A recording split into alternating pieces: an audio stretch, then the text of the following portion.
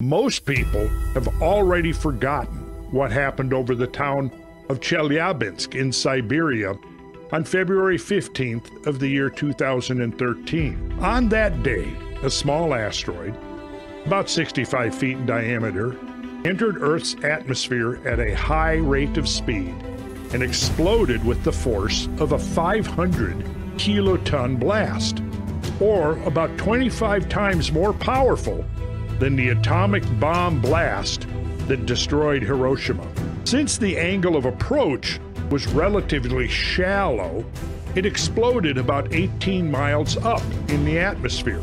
Even at that height, the powerful shock wave damaged over 7,000 buildings and caused over 1,500 injuries.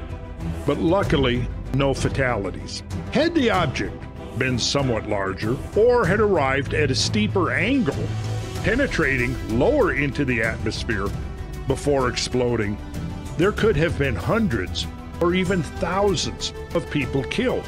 Had that occurred, it is likely that the impact of the Chelyabinsk meteor on the consciousness and the priorities of humankind would likely be somewhat different right now. As it is, awareness of the significance of that cosmic wake up call has quickly faded from popular consciousness.